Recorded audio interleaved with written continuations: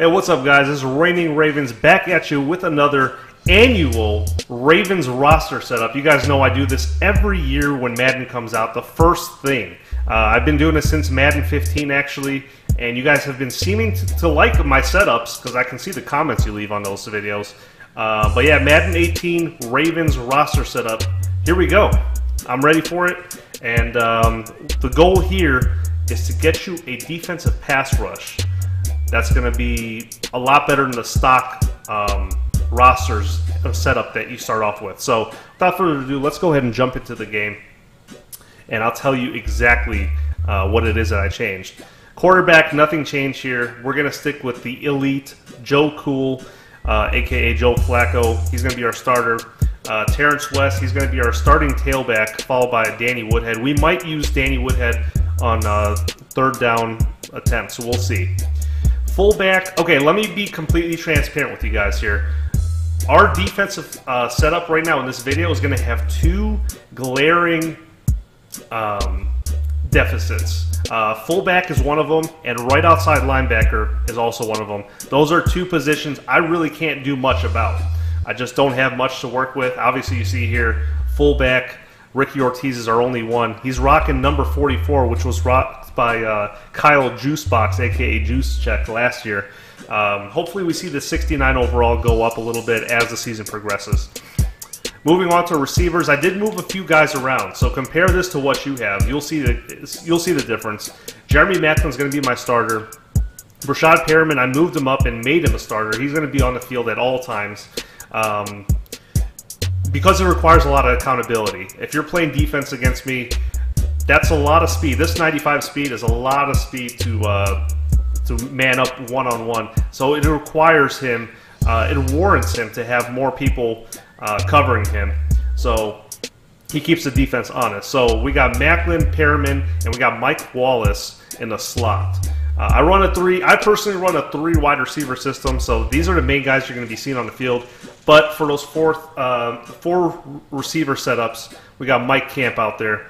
Um, and I moved a couple of these guys around too. Um, tight end, we no longer have Pitta, unfortunately. So we got to go with Ben Watson and Crockett Gilmore. You guys know I run a two tight end system when I'm on offense.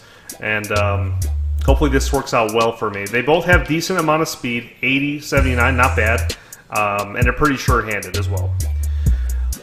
The offensive line I didn't touch. I largely, I think I left them all alone. So Ronnie Stanley left tackle, Nico Siragusa at left guard, center is Ryan Jensen, right guard, one of the best in the league. Actually, he might actually be the best right guard in the league, Marshall Yanda. Uh, right tackle, Austin Howard. Here's where things get interesting. You guys like the pass rush that my defensive setups get you. This is stage one. Putting Terrell Suggs, moving him from the right outside linebacker position and moving him to the line makes a tremendous amount of difference as far as generating pass rush. Why, you might ask? Look at this. Look at this. Um, he's got a 85 power move. Compare that to everyone else. You can't even compare. Um, so that 85 power move is going to get through that offensive line. Doesn't matter what offensive line you're playing against. So we need him out there. Um, because we moved him to the left end position, you see Michael Pierce. Uh, we moved him. He's a left end guy, but we moved him to the right end position. So he's going to be playing there. He's a 76 overall there. And that 94 strength, that's going to be pretty crucial too. Uh, defensive tackle we paid a lot of money to keep this guy in Baltimore, so you, yeah, we're going to be using this guy a lot. He's going to be out there on the field a lot. Um, and speaking of guys that I want to see increase their overalls as the year goes on, Carl Davis and Brent Urban, these guys are tremendous football players, tremendous athletes. Um, I'd be really surprised if this doesn't go up by at least 10 this year as the season goes on. Uh, moving on to left outside linebacker. The guy we drafted, in this year's draft, Tyus Bowser.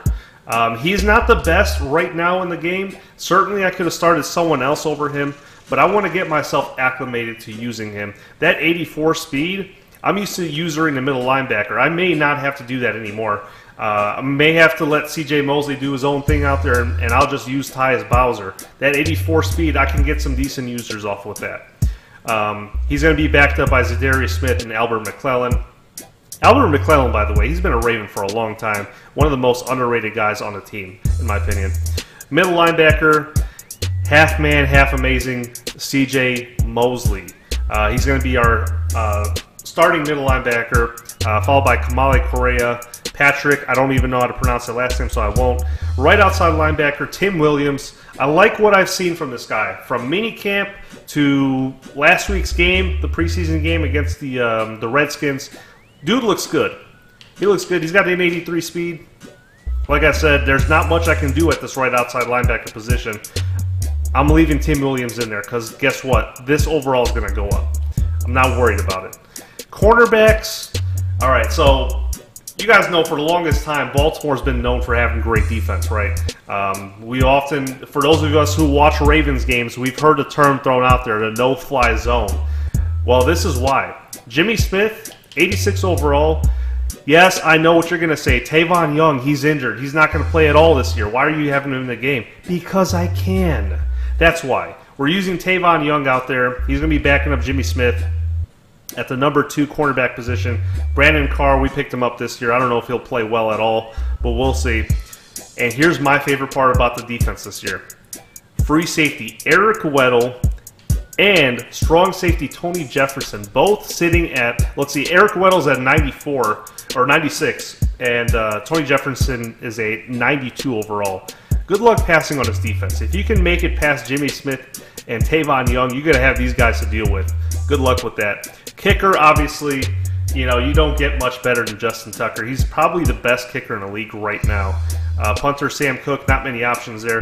Michael Campanaro, I've had nothing but good luck using this guy in Madden 17. Um, one of the most short-handed guys on the team, actually. He takes hits and he never fumbles. Or I'm sure now that I said that, I'm going to fumble my first game.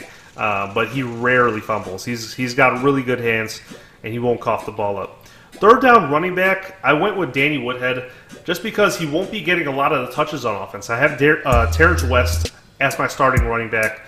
Danny Woodhead's going to come out there fresh on third downs, and hopefully, you know, he's got decent stats. For being a nine year vet of this league, he's got some decent stats still, and we're going to make sure we use them. So that pretty much wraps up uh, my Ravens roster setup. Try it out. Let me know how you liked it. Let me know especially how the pass rush works for you. Try this, guys, and I guarantee you're going to get to the quarterback faster than if you left the roster stock the way you can't uh, come straight out the game, all right?